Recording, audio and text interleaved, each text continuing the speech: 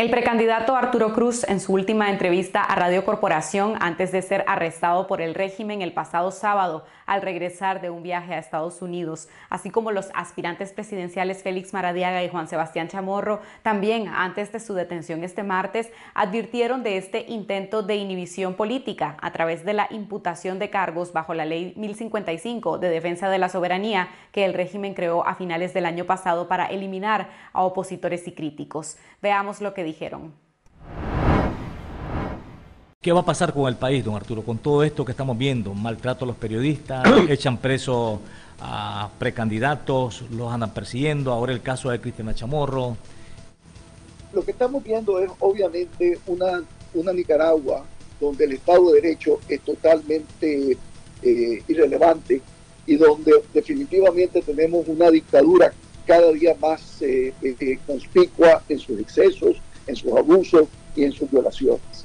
Eh, ¿Qué es lo que yo creo que va a venir para desgracia de nuestro país?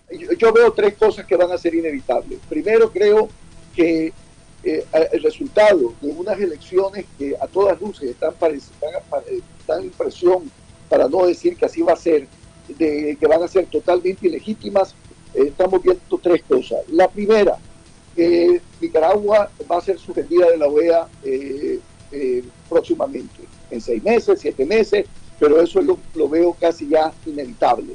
Segundo, eh, que la ley de nacer en Washington va a caminar a pasos acelerados. Y tercero, que, y esto no es que lo estoy celebrando, ni lo estoy recomendando, ni lo estoy, ah, eh, eh, lo que estoy diciendo es que lo veo inevitable.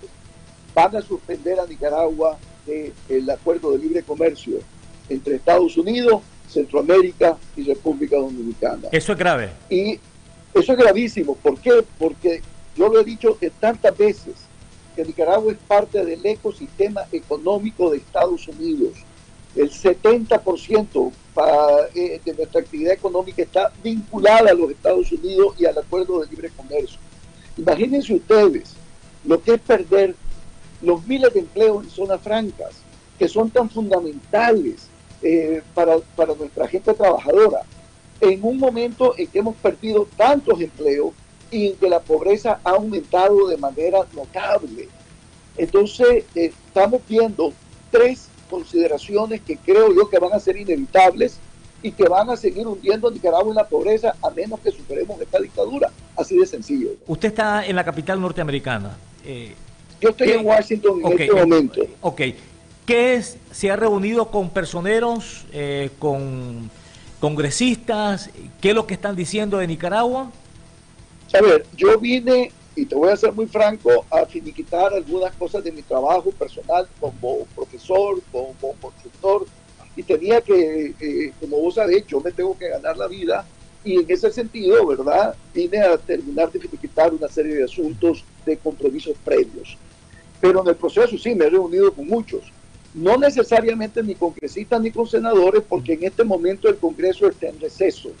Pero no hay duda de que he conversado con eh, lo que aquí le llaman los staffers, eh, con miembros que tienen que ver con la sociedad política en general. Y la sensación que vos tenés en Washington es de lo que te estoy planteando. Un régimen, una dictadura con la que ya no hay ningún espacio de entendimiento eh, a ver, seamos francos, los norteamericanos han querido abrir espacios de conversaciones y de diálogo para intercambiar inclusive, como lo dijo el propio secretario de Estado cuando estuvo en Costa Rica, refiriéndose a Venezuela, pero indirectamente a Nicaragua, sanciones a cambio de una apertura electoral. Y no han llegado a nada, absolutamente a nada. Inclusive tengo entendido que la respuesta del gobierno nicaragüense de la dictadura de los Ortega a la solicitud de estos intercambios entre personeros de los Estados Unidos y, los personeros de ellos eh, han terminado en absolutamente nada. Inclusive la respuesta fue que estaban dispuestos a recibirlos, imagínense ustedes, en el 2022, suponiendo que iban a ganar las elecciones. Cuando yo entré en esta contienda, yo fui muy claro cuando dije yo no voy a ser parte de una farsa electoral. Y te lo repito, no, pues, si, si, a danza de, de eh, es decir, nos vamos a quedar sin candidato, incluyendo tu servidor. Lo que está haciendo Ortega, dando, eh, cerrando los espacios electorales, es condenando a Nicaragua a más pobreza. El mundo está por despegar en el 2022 y nosotros no vamos a aprovechar ese despegue. Es decir, precisamente porque hay un rechazo de parte de la dictadura a ofrecer una salida al pueblo nicaragüense pacífica a través de elecciones. Por eso es que en este momento yo siento una profunda tristeza, eh, pero a la misma vez también un gran sentido de indignación de ver que nuestro país lo van a continuar atropellando, pero que sí todo esto va a terminar teniendo consecuencias.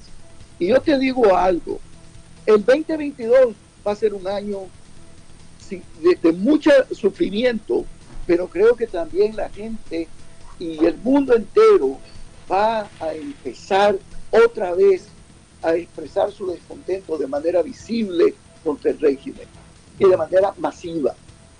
¿Qué le responde a los oyentes? Porque se, habla, es que Arturo es el, candidato de Ortega. Yo soy el candidato de los nicaragüenses, de aquellos que creen que yo puedo sacar a Nicaragua de la pobreza. Yo no soy el candidato de Ortega y mucho menos.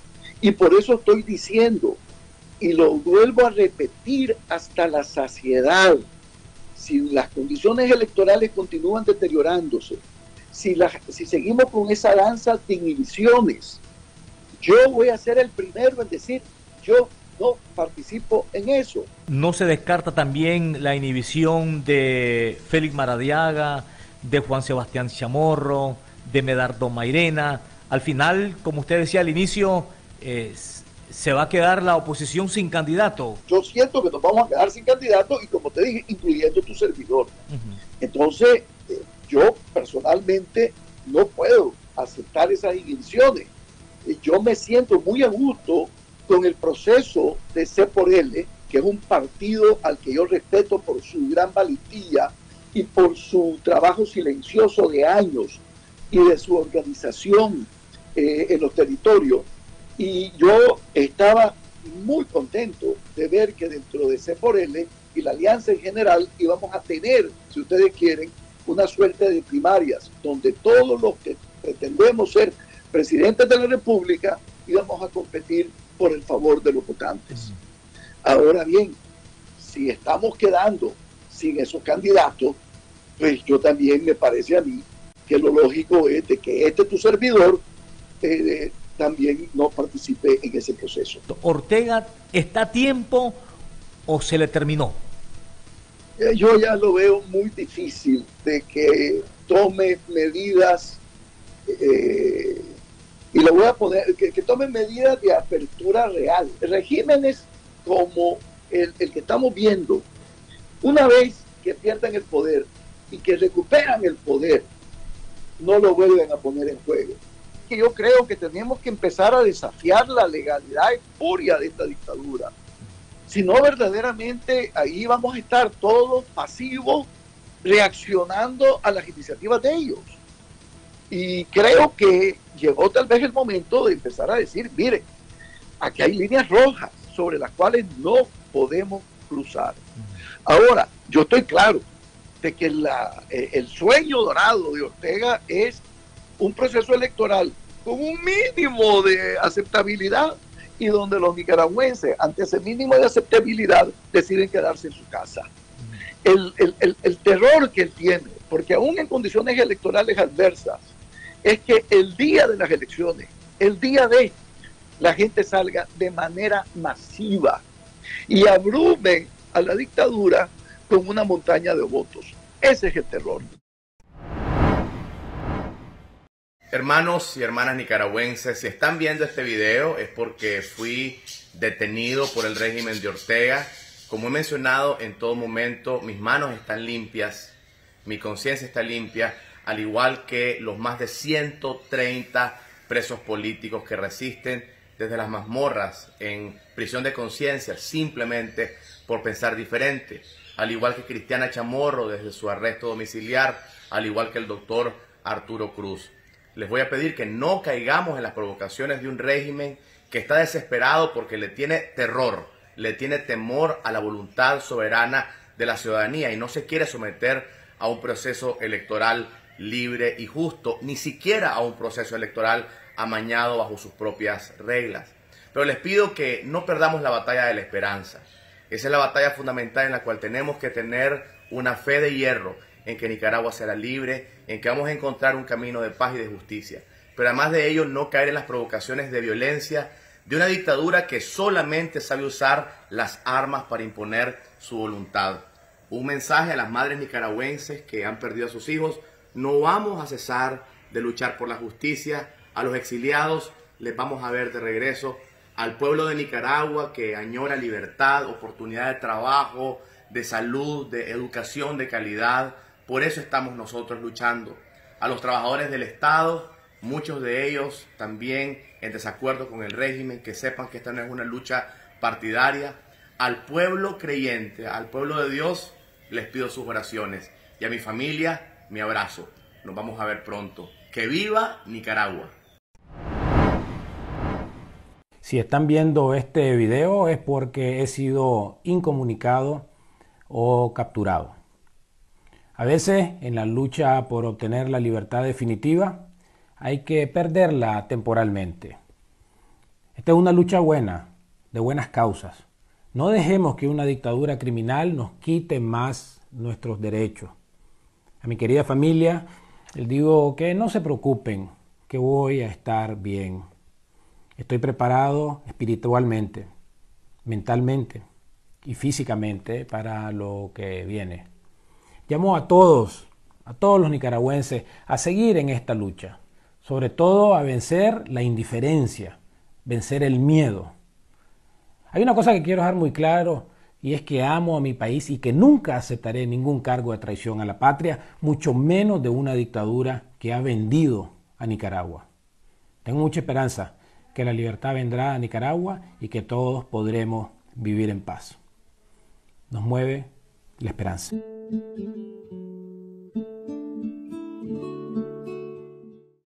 El periodismo independiente empodera a los nicaragüenses y enriquece el debate público. Por eso nuestra misión como periodistas es garantizar que nuestra cobertura noticiosa sea libre y gratuita para todos los lectores. Por eso te invitamos a formar parte del programa de membresía de Confidencial para formar parte de esa comunidad que respalda nuestra misión. Podrás tener acceso a contenido adicional del que ya ves, lees y escuchas a través de nuestras plataformas que continuarán abiertas para todas las personas. Gracias por tu apoyo a nuestro medio y por tu solidaridad con las audiencias nicaragüenses.